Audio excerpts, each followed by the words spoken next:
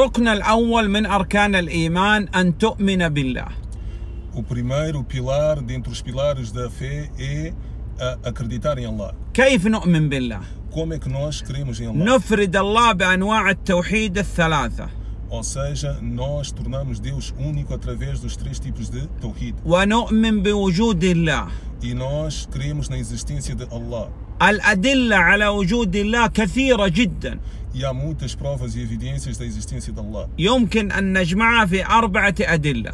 É possível nós juntarmos em apenas quatro evidências. الأول العقل يستحيل يأتي إنسان عاقل وينظر في هذا الانتظام البديع في الكون الشمس القمر الليل والنهار إلا ولابد أن يثبت أن لهذه المخلوقات خالق واحد مدبر سبحانه وتعالى.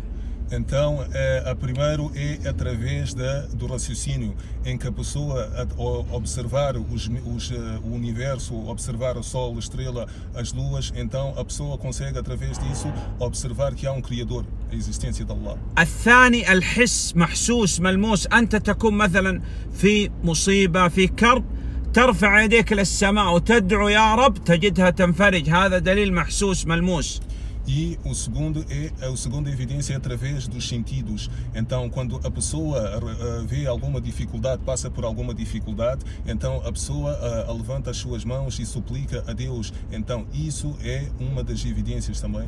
الفطرة كل مولود يولد على الفطرة يولد على التوحيد يثبت وجود الله سبحانه وتعالى ويؤمن به Então, o terceiro é o instinto natural, ou seja, todo aquele que nasce, nasce através do instinto natural que é acreditar em Allah. نعم الرابع الشرع يعني الأدلة من الكتاب والسنة E a quarta evidência, a quarta prova é a lei e a legislação da- do, do, do livro e da sunna.